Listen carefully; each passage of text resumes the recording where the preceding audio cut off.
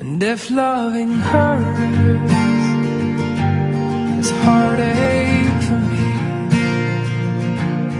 and if holding her means that I have to bleed, that I am a martyr, love is to blame. She is the hero and I